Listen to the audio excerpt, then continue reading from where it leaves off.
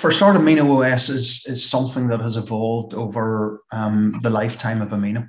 You know, so it's an extremely mature platform backed up by a, a very talented, skilled set of engineers um, that that know this sort of stuff inside out. Um, so you've got a, a, good, strong, robust platform. Um, I, I, think the pre-integration is a significant benefit for um, for new customers.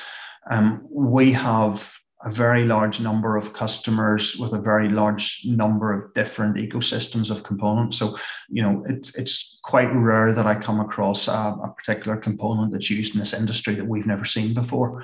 Mm-hmm. Um, you know, and that contrasts with some um, of our competitors, even really quite large ones, because um, our focus has been on um, the, the medium to small tier of customers, and therefore we've got a very large number of customers whereas maybe some of our competitors have a small number of very large customers. Um, they don't have the exposure to the same level of, of um, diversity in the ecosystem that we have, probably don't have exposure to the, the, the diversity in networks that we see.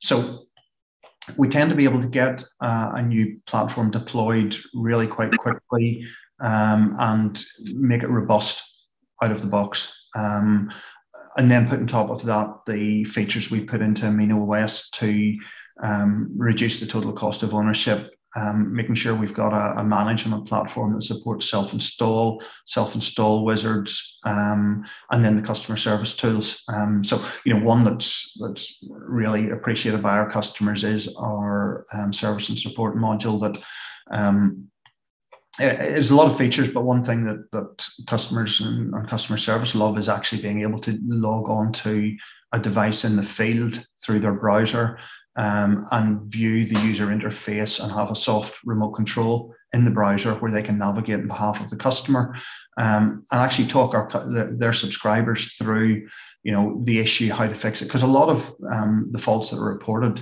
by customers are, are things like configuration settings that are wrong on the device av settings that they need to change um, for their particular TV, etc.